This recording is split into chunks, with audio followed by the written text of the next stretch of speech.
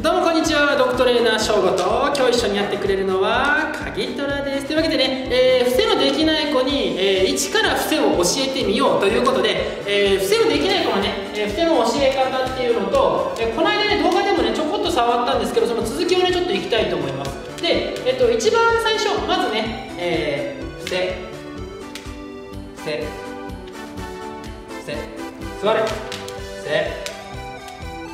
はいというわけで、えー、できません。ね、なので、えー、一番最初まずはね、えー、おやつ誘導で、えー、座らせるところから足の間を通すって前にやってきましたよね。足の間を通す、ね、あの足の間に、え通っていくと、えこのね伏せの姿勢になりますと、ね、この続きからちょっといきたいと思います。おいでかけたら。さあ座って。はいおいで。こっち引っ込め。下。はい伏せそういいねいいねいいねいいね。いいねかけてる間座れ。はい。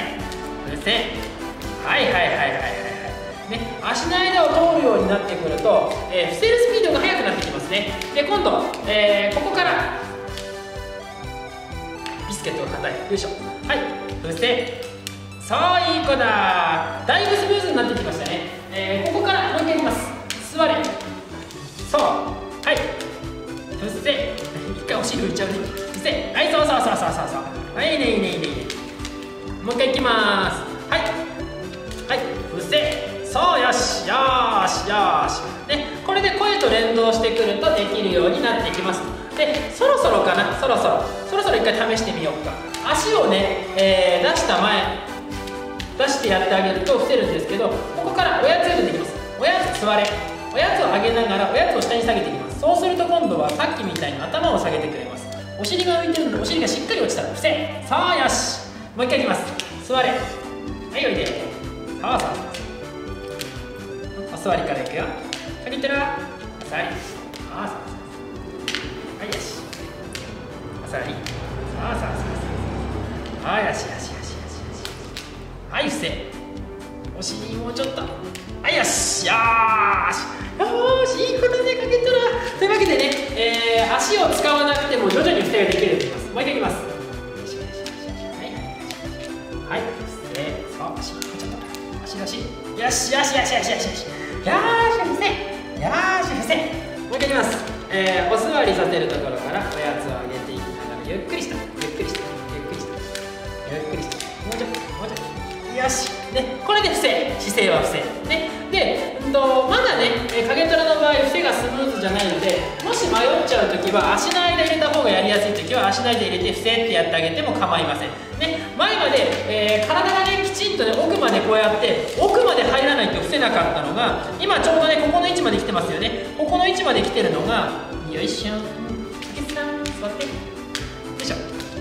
もうねここで伏せるようになってます。頭の位置ですね足ね。頭の位置。ねこういう感じってくると、えー、そろそろね足の補助がいらなくなってきます。なので、足の補助なしでもいけるかなと思ったら例えばね座れ。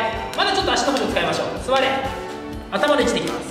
伏せそうね。今ちょうど頭が足で見えないぐらい。頭こう見せてくかわいいな影虎ねこのこの位置。そこでそこで喜ぶのね、うん、この位置で、え、やってくれるようになってくると変わってきます。ね。はいよはいよよし。はい影さんおいで。はいはい伏そうよしよしよしよしよしよしねでここまで来たらもうちょっとやってい。くと足がなくてもいけますはい伏せそうよしねもうだいぶもう足の中に入ってるってだいぶついでですよねもうだいぶついでこのぐらい伏せそうそうそうそうそうよしよしよしよしよしそしたら足の前で伏せそうよしよしよしよしよしよしよしよし座れはいよしいくよはい伏せ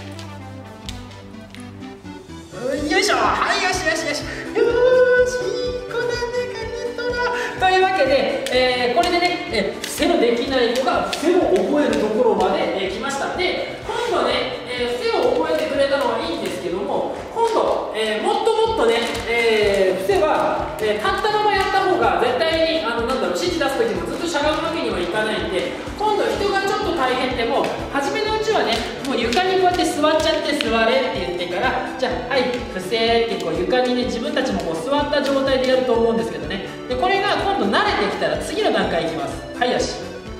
ね。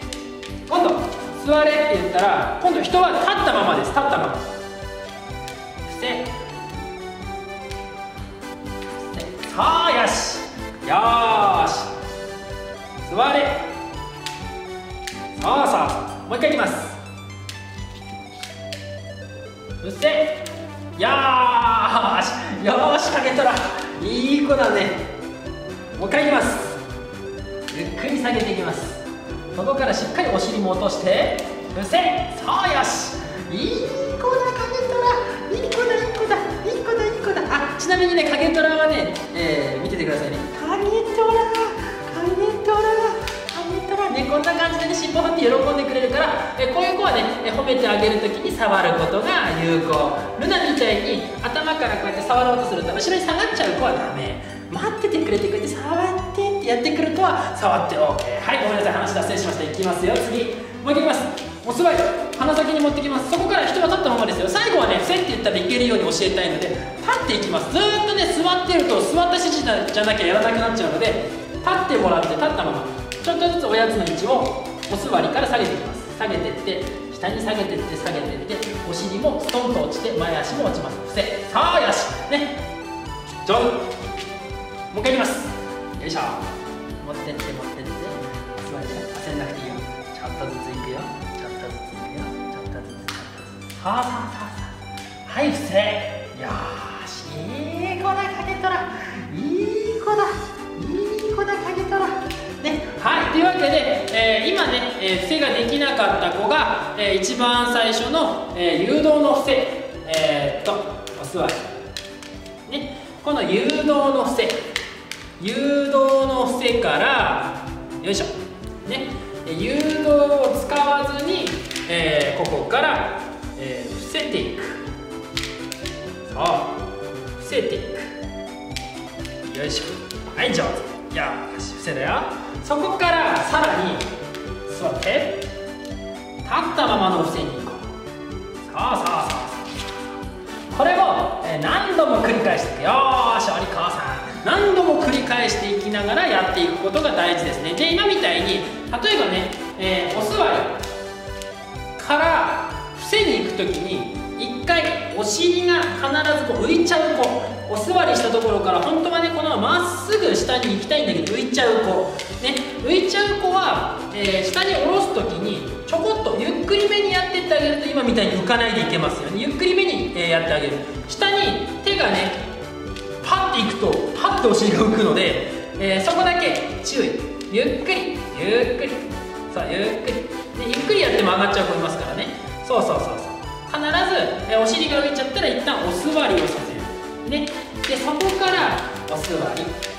そうだね。そこからゆっくり下に持ち込んでいき伏せと。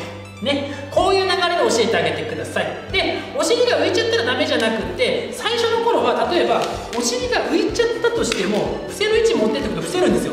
なので最初はこれでやっても構いません。そのうちお尻を落とす位置まで持ってってお尻上げてから下ろす。